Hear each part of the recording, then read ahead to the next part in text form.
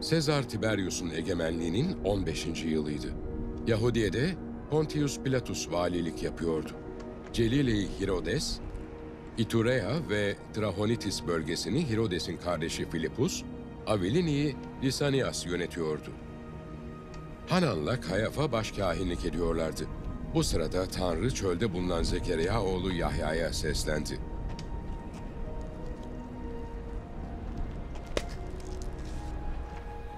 O da Şeria Irmağı'nın çevresindeki bütün bölgeyi dolaşarak insanları günahlarının bağışlanması için tövbe edip vaftiz olmaya çağırdı.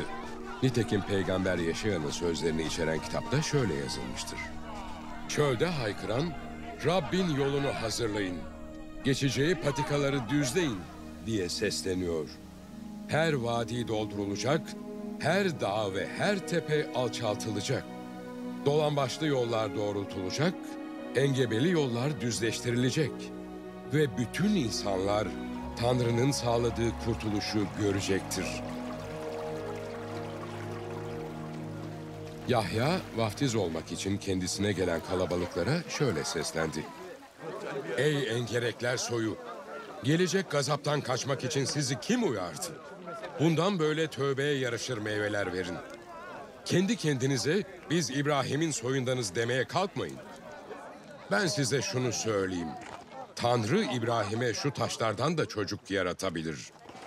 Balta ağaçların köküne dayanmış bile.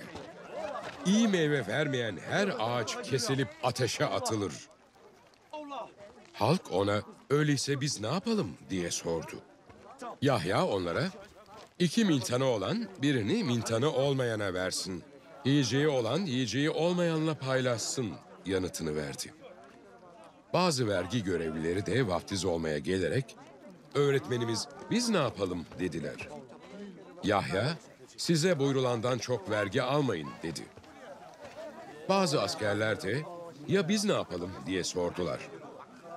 O da kaba kuvvetle ya da yalan suçlamalarla kimseden para koparmayın dedi.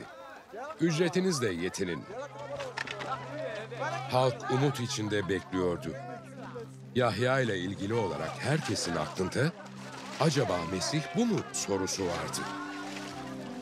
Yahya ise hepsine şöyle yanıt verdi. Ben sizi suyla vaftiz ediyorum ama benden daha güçlü olan geliyor. Ben onun çarıklarının bağını çözmeye bile layık değilim. O sizi kutsal ruhla ve ateşle vaftiz edecek. Harman yerini temizlemek ve buğdayı toplayıp ambarına yığmak için yabası elinde hazır duruyor. Samanı ise sönmeyen ateşte yakacak. Yahya başka birçok konuda halka çağrıda bulunuyor, müjdeyi duyuruyordu.